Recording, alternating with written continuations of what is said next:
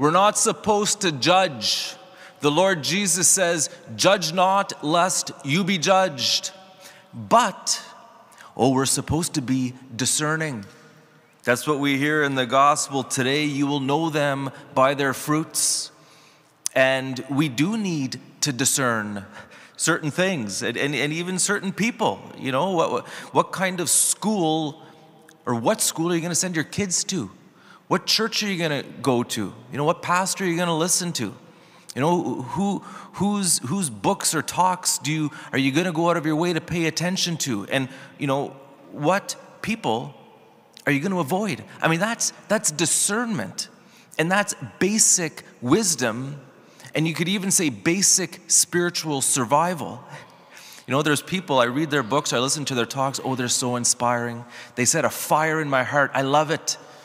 You know, they, they help keep me going. And again, this is, this is basic human and spiritual wisdom, being able to discern right from wrong.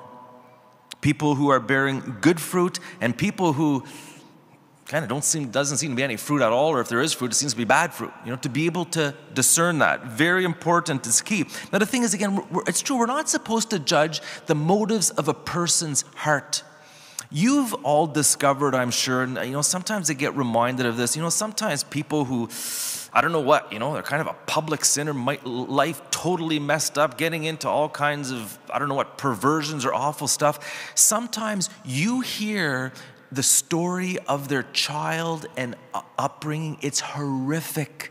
And you think to yourself, this person doesn't need judgment, he or she needs mercy. Amen?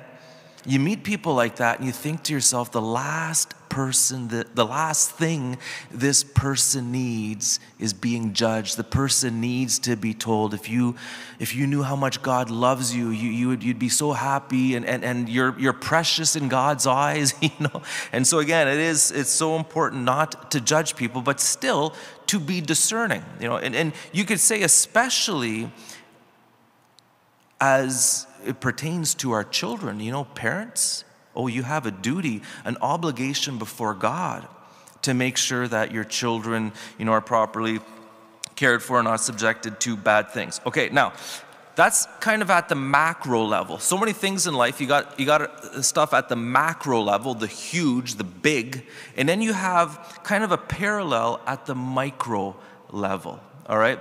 And you know, in our own lives, we can discern at a micro level what things are good.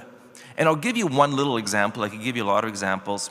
For me, if I get off my backside in the afternoon and go exercise, and typically when I exercise, I, I, I do a rosary walk or whatever, I feel so good typically during and after and into the evening. It's, it bears good fruit in my life. And this is at a very kind of micro level.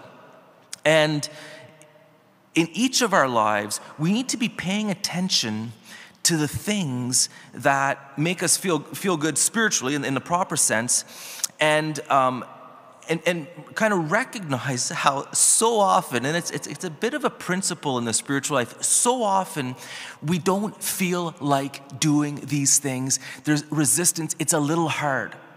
You know, there's so many things in our life we, we know, and it's, again, it's basic wisdom. We know it doesn't feel good to do these things initially, but when we do them, there is so much good fruit. We feel so good, and we, we just have to be persistent and so, so determined to keep doing those good things because they bear fruit in our lives. And there's other things, of course, that are really easy to do, maybe pleasurable or whatever. And we know, get into that, and it's just the, the fruits is misery. Now, Paul says in Galatians 5, the fruit of the, the fruits of the Spirit, love, joy, peace, patience, kindness goodness, faithfulness, gentleness, and self control.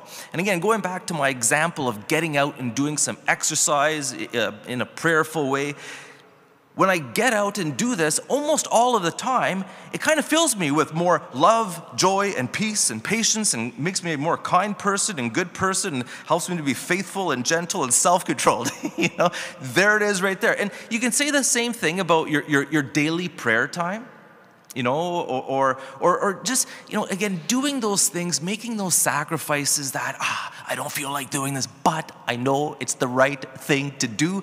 And I know from experience, again, if I do these things, there will be good fruit. And the basic principle is the Lord says, who's faithful in little things will be faithful in big things.